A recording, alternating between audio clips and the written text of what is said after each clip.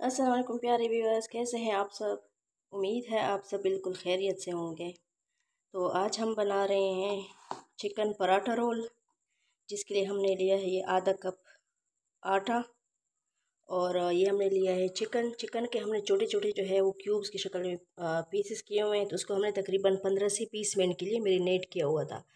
इसमें हमने सिर्फ़ हल्दी काली मिर्च और नमक डाल दिया था।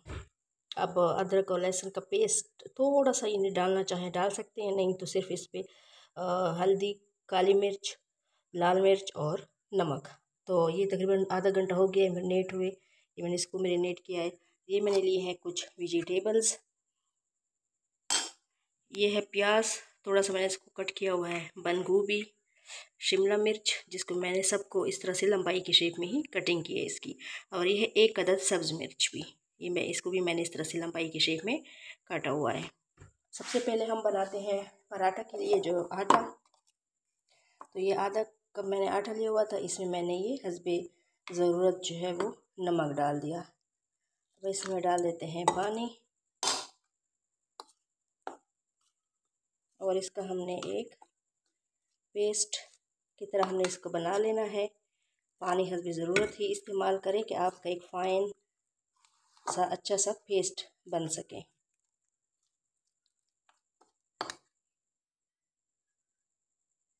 ये देखें। आटा जो है हमने इस तरह से बना लिया है, ये देखें। इस तरह से इसकी आपका आटा होना चाहिए। तो आटा जो है वो बिल्कुल रेडी है, इसको हम कर लेते हैं साइड पे और जल्दी से पहले इसके लिए बनाते हैं हम चिकन ये मैंने लिया है एक अदद पैन, जिसमें तकरीबन दो से तीन टेबल स्पून मैंने डाली है ऑयल। इसमें डाल देते हैं प्याज सबसे पहले।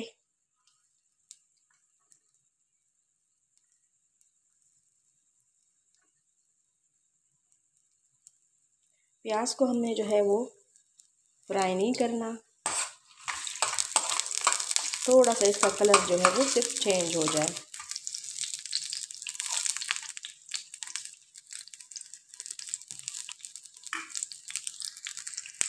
ये देखिए, प्याज जो है, इसका कलर थोड़ा सा चेंज हो गया है। अब हम इसमें डाल देते हैं चिकन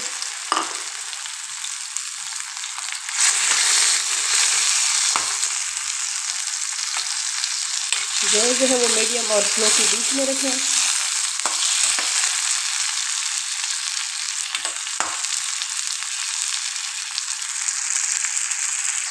ये देखें चिकन जो है, इसमें भी अपना पानी छोड़ दिया है। हमने इसको अच्छी तरह से फ्राई करना है।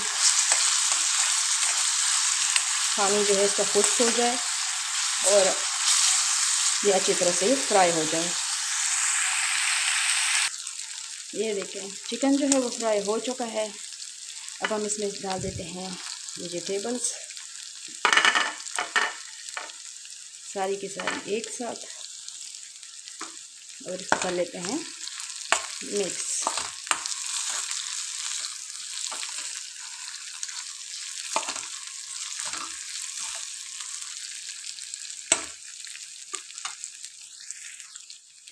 वैसे ऑलरेडी हम इसमें मसाले डाल चुके हैं, लेकिन अब हम थोड़ा सा ये देखो, एक चुटकी डाल रहे हैं नमक और एक चुटकी डाल रहे हैं काली मिर्च।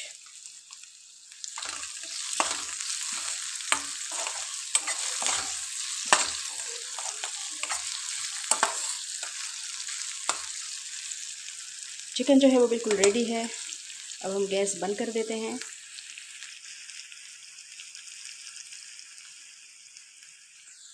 तो अब हम इसको रख देते हैं साइड पे। जब तक हम इसके लिए बनाते हैं पराठा, तब तक जो है ये थोड़ा सेट हो जाएगा, ये थोड़ा ठंडा हो जाएगा। पराठा बनाने के लिए देखो तवा जो है हमने रख दिया है गैस पे, और मैंने इसको थोड़ा सा इसको ग्रीस कर लिया है थोड़ा थोड़ा जो है मैंने इसको ऑयल भी लगा लिया है। अब हम इस पर डाल देते हैं।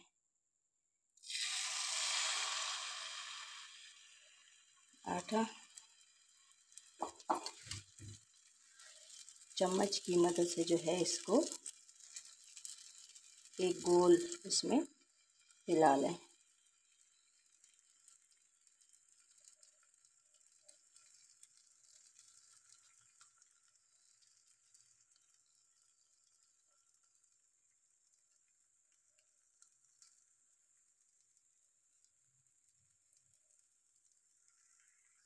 ये देखें इस तरह से इसका इतना मैंने बनाया है। अब अल्लाह करी इसी तरह से ही सलामत मैं इसको पलट भी लूँ, टूट ना जाए।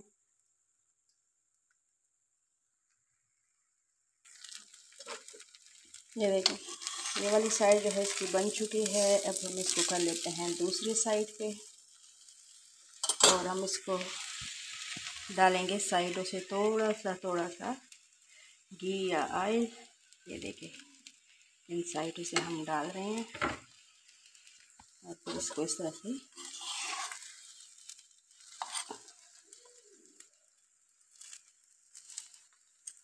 आराम आराम से इसको घुमाएँगे।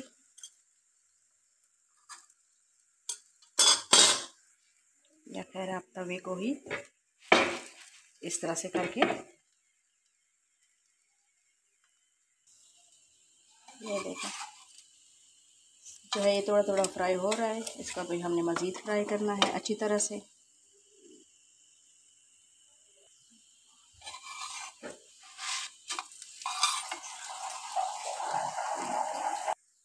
ये देखें, पराठा जो है वो बिल्कुल रेडी है, अब जल्दी से हम इसको उतार लेते हैं। यानी हमने दोनों साइड जो है वो अच्छी तरह से इसके फ्राई कर लिए हैं। ये देखें, पराठा जो है वो बन चुका है, अब जल्दी से हम इसमें डाल देंगे चिकन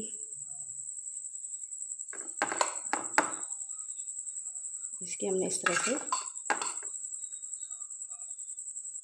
फिलिंग करनी है।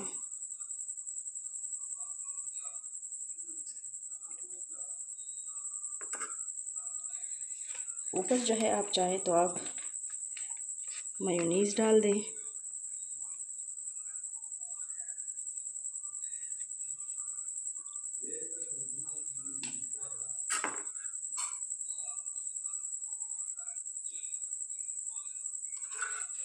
अब इसको हमने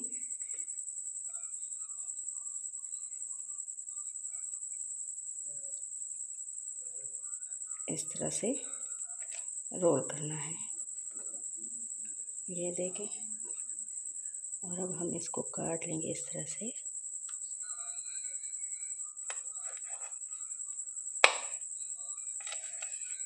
बीच में।